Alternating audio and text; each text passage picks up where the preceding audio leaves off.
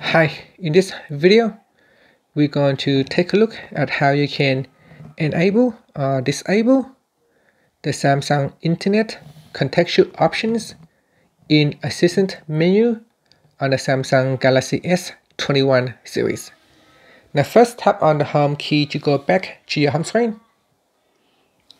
And then swipe down at the top and tap on the settings button.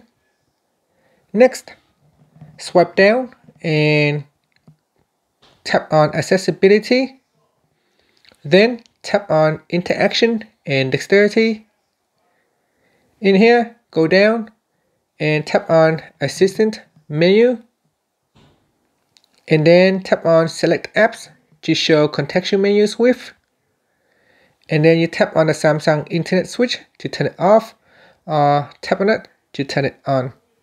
Now if the Samsung internet contextual options is switch on, you can see that while I'm using the internet browser app, if I open up the assistant menu, there are three additional uh, contextual menu items and they are enter web address, tabs, uh, new tabs, so I can tap on the tabs to see which tabs is uh, currently opened.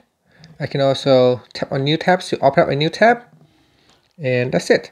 Finally, you can tap on the home key to return to your home screen. Thank you for watching this video. Please subscribe to my channel for more videos.